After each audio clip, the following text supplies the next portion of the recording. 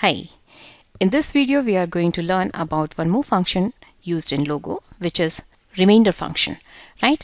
What does actually this remainder function do? When we have two numbers and we want to divide one number by another that is the dividend by divisor and if divisor is not able to divide the dividend completely we get remainder. Suppose if I want to divide 15 by 2 so to see the result properly, again I have to use this function along with print command or label command. So first I am going to use it with print command, print remainder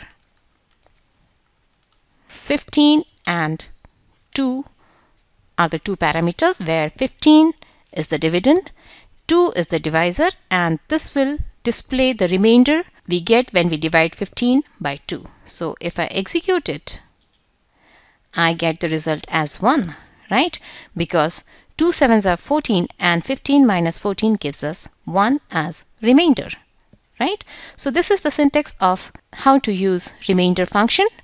Remainder, then first parameter is always the dividend and second parameter is always the divisor.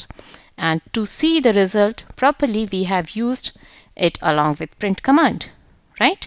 And yes, like other functions, here also we can write expressions in place of parameters. So suppose if I replace this 15 by 15 multiplied by 3 and keep the second parameter as 2 only and if I execute it now again I get the remainder as 1 because 15 multiplied by 3 is 45 which is an odd number so it will not be divisible by 2 completely and it will give us remainder as 1 right? And what is special about remainder function? You have to be very careful about the order of the parameters you give. Here, first parameter is always the dividend and second parameter is always the divisor, right? And if I flip it, let's see what we get. If I flip 15 by 2 and 2 by 15, and if I execute it, I get remainder as 2 because 2 is less than 15 and 15 divides 2 0 times right? Let's see. If in place of this remainder I type quotient and execute this I get result as 0.133333 that means in first go it divides 2 0 times right? Yes.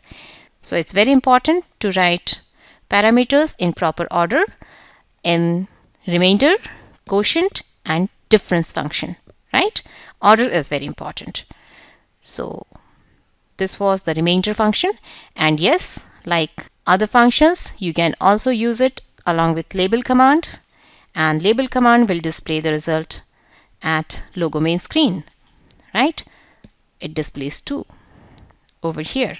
If I hide the turtle, you can see the result, right? So this was remainder function.